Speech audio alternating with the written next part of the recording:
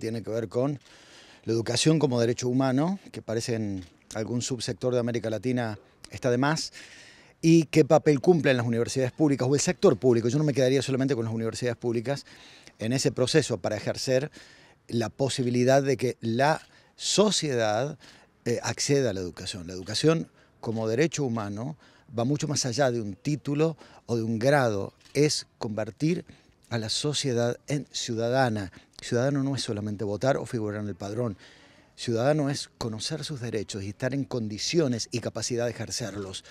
Ese es el papel esencialmente de la educación pública y el papel del Estado, más allá de que con las políticas de supuesta austeridad, porque para algunos viajes ridículos no hay austeridad, pero para eh, convertir a una sociedad en una sociedad ciudadana y capaz de ejercer y conocer sus derechos, sí parece que hay austeridad. Y eso es un problema en una América Latina que está girando hacia posiciones económicas que van a golpear un proceso intergeneracional, lamentablemente.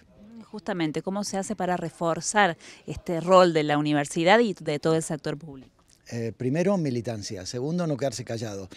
Tercero, entender que los procesos nunca están cerrados, los procesos siguen, que las elecciones son una parte de la democracia, pero la parte fundamental es la participación, la militancia, la organización y no callarnos cuando hay que cuestionar las cosas, más allá de que algunos proyectos de ley eh, sancionarán al personal universitario que hable por fuera de las universidades. Bueno, será cuestión de aguantar el chubasco, pero de demostrar a quienes creen que austeridad significa pobreza intelectual, disminución de capacidades de ejercer derechos y de convertir a una ciudadanía en un acto de borregos, que están equivocados. Y va a ser un gusto hacerlo y por qué es importante abordar estos temas, reflexionar con estas personas que están próximos a ingresar a la universidad. Porque precisamente se dieron cuenta de que la vida les dio una segunda oportunidad y ellos están en condiciones de darse cuenta de eso.